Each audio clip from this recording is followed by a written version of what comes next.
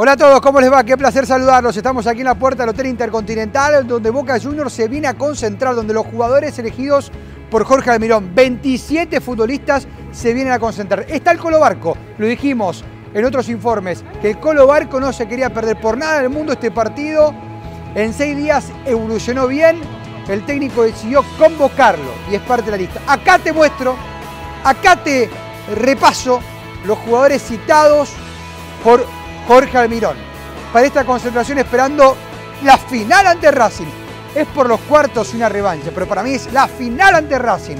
Y el equipo debe estar concentrado, concentrado, esperando ese durante conjunto de Fernando Gago. El once inicial no está confirmado, pero el entrenador ya ensayó un probable que tiene a Merentiel por el Colo Barco. El Colo Barco tengo entendido que va a ser exigido este miércoles puede ser en la activación que se hace por la mañana o directamente en el precompetitivo, allí en el cilindro de Avellaneda. Merentiel por el Colo Barco como único cambio de aquellos que jugaron la ida contra Racing en la bombonera. Entonces el probable tiene a Sergio Chiquito Romero como centrales, Figal, Rojo, Valentini, Advíncula, Paul Fernández, Medina, X Fernández, Fabra y arriba Merentiel Cabal. Ese es el probable de Boca. Ahora bien, ¿está confirmado el equipo? No, no está confirmado. ¿Está definido quiénes van a salir a la cancha para jugar 21 a 30 contra Racing? Y tengo estas dudas. Tácticamente, si sale con esa línea de 3 o pone una línea de 4. Si es una línea de 4, saldría Valentini y se metería a Weigan para que Advíncula juegue desde la mitad de la cancha. Y no descarto a Hanson por X Fernández.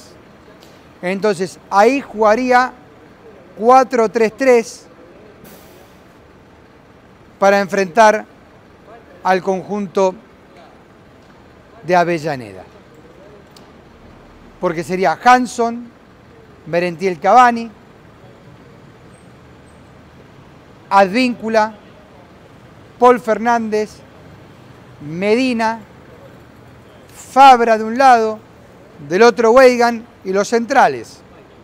Figal Rojo, en el arco Sergio Chiquito Romero. Hoy analizábamos el uno por uno y Boca tiene un gran plantel, recién mencionamos a los 27 jugadores no está Briasco, se confirmó su E15 de tobillo izquierdo, se lesionó contra Sarmiento en Junín.